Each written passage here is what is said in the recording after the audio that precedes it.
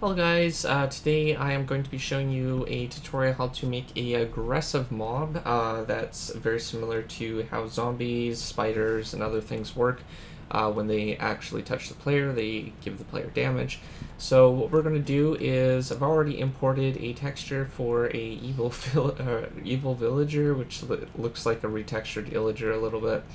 So what we're going to do is we're just going to go and jump into our creating our mob. So I'm going to go mob and then type uh, evil villager and then we're going to create next. We're going to select our UV map. So I'm going to select villager and then what we're going to do is call it evil villager and we're going to select our evil villager texture uh, we're going to also change the color of the egg so we can easily find it. So we're going to select that one and maybe a brown of some type, so maybe that color. And uh, that's all we need to do here. And then what we're going to go over here and we're going to leave it at mob because uh, the mob aggression is, uh, this is basically the behavioral, behavioral properties. So mob is like things like uh, zombies, spiders, stuff like that. Creatures are um, basically like pigs, sheep, stuff like that. And then water and mob, water mob is basically uh, like squids. And I think in 1.12 or 1. Point, no, it would be 1.13 fish were added. So um, that would be the water mob area. So. Uh, we're going to select mobbed. Uh, we're going to uh, leave this undefined. Most cases you won't need to select this. Um, however, some properties like illagers, uh, you, if you're creating an illager, you might want to select that. We're just going to leave it undefined and I'm going to also select the drops that it will produce. So because it's a kind of like an illager, I'm going to select emeralds and let's see here. We could always do... Uh, an enchantment book, maybe? Or... Uh, is there one? It doesn't look like there's one for any disc, so won't be able to drop that. Uh, we could drop something like a bone. You never know. So maybe a bone, and then we want to select our sounds. So we want to scroll down until we reach um, entity, illager, and we're going to select ambient. Actually, we could set um,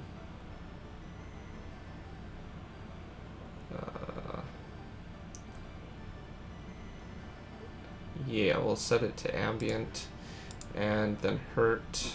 So we'll scroll down until we hit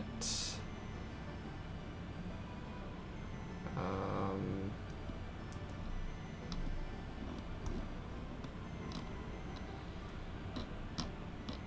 where is it? Illager, Illager, Illager. And hurt. And then death. So we want to scroll down until we find death. So that one. Okay, so our sounds are set up, and then we click next. If you want to add particle effects, you can do that. Um, now, one thing that we're going to need to set up is uh, when player collides with this mob, we're going to select this. We're going to create a new procedure. We're going to go to Entity, Deal Damage, and leave it to 1. This will deal half a heart.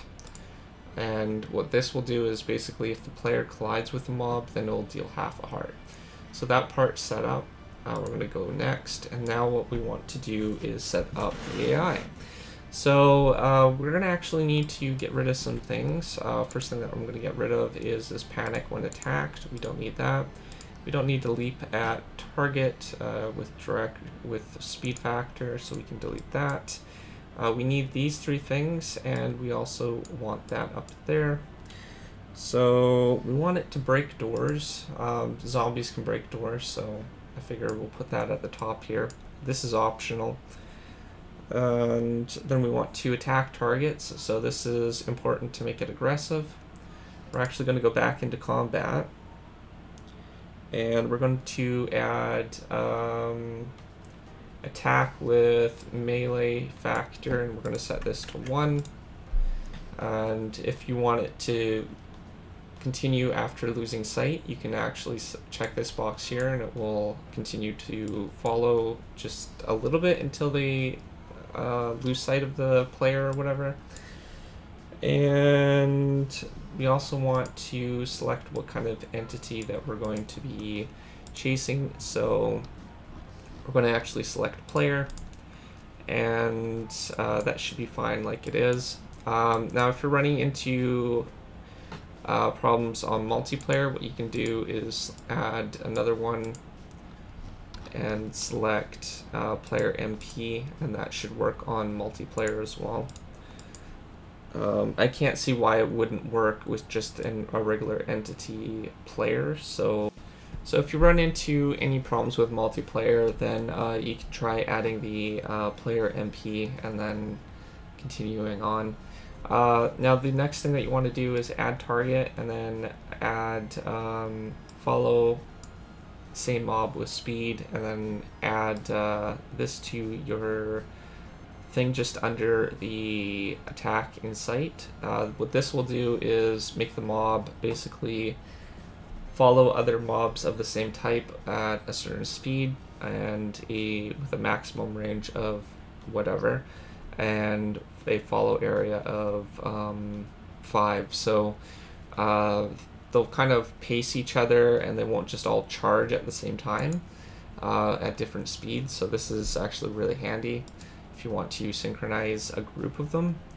And the last thing that you want to do is make them wander around, look around, and swim in water. So this will enable them to just, you know, walk around and stuff like that, kind of search for targets and uh, look around will basically just give them some extra AI animation to them so they look like they're observing a little bit. And uh, swim in water makes them so they don't sink, so that's quite important too.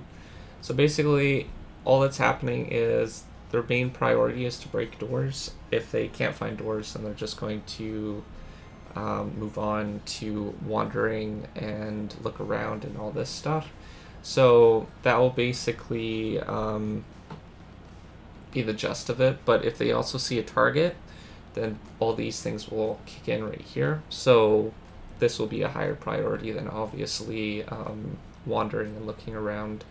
So once you got that all set up, what you want to do is click next. Uh, you want to set the properties. Um, we're going to leave this at, uh, we're going to actually bring it down to 10. We're going to set monster uh, because we want them to spawn in caves and in the dark. If it's creature, then they spawn on the surface. If it's ambient, they spawn in the air. And if it's uh, water, then they spawn in the ground. Or not ground, but like in the uh, water itself. So we want caves and stuff, so we'll set that there. Uh, we want it to be about maybe one, two, I would say no more than five per group. Uh, you want to play with this spawning probability if it's too much though. Click save element and then what you want to do is hop in game after it's finished um, compiling and then we'll test out our entity. Alright, so we're in a brand new world. I'm just going to first test if uh, they can break doors and stuff. So we're going to build a room like this. And we're going to see if we can't get them to bust down the door.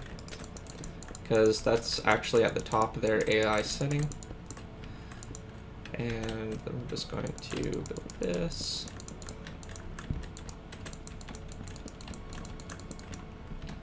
And just a little shelter like that. Doesn't have to be anything fancy. A lot of you might already know that I'm a pretty good builder when it comes to uh, working. This is actually nothing. It takes no effort to do. So, um, going to select a wooden door just to test this theory out. And we're going to select that. Uh, we're going to grab our mob itself And we're gonna place it down. Okay, he's obviously going a really fast. Um, not sure why he did that. Just kind of looking down like that.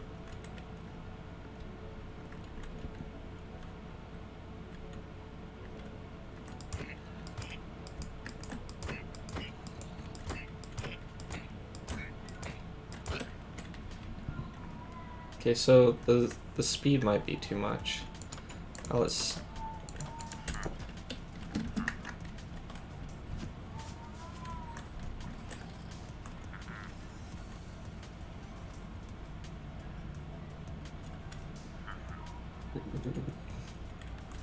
That is kind of hilarious, watching his head bobble like that, but uh, that's obviously not what we needed. So let's uh, hop out and we'll adjust the um, speed just a little bit. So attack, um, that could be why we wanted it to be 0 0.8. Um, 8 being a little bit too fast, obviously. So uh, wander with uh, speed of 8, so we want 0 0.8 as well. And uh, maximum speed factor of 1.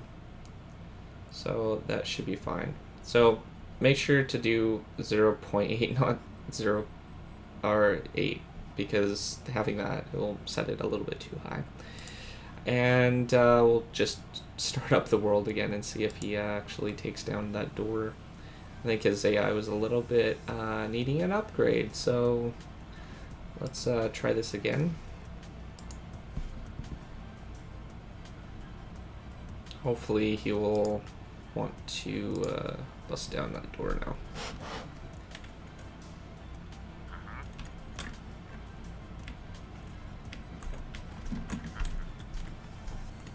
He doesn't seem to be aggroed at the door, honestly. Okay. So let's uh, game mode 0.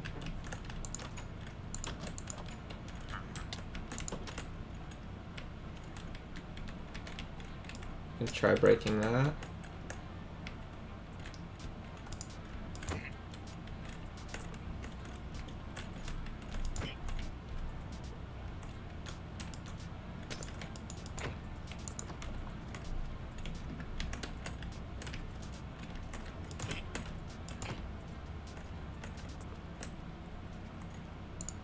Okay, it doesn't seem to be too aggroed, which is weird.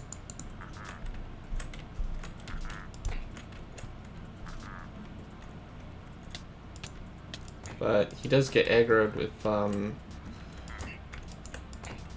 punch him, so um, let's try to get away a little bit.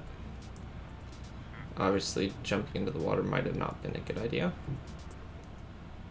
We'll wait until he starts looking around. There we go. Okay. So let's see if he starts coming towards us, and if he does...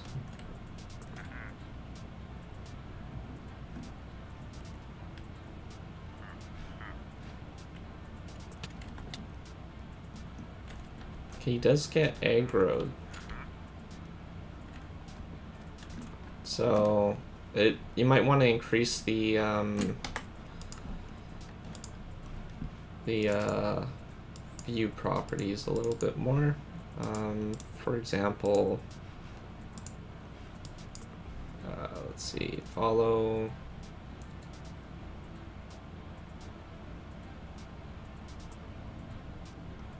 Might want to adjust this a little bit or have them uh, basically target and watch closely. This might be an alternative to fix it. So you could set this to like 10 and then set this to player. Um, but outside of that, that's all I have time for today. If you're new to my channel, don't forget to subscribe, comment down to below, down below. I'm not sure why they're actually not breaking doors, so uh, that might be a bug. Other than that, thanks for watching, and I'll see you guys next time.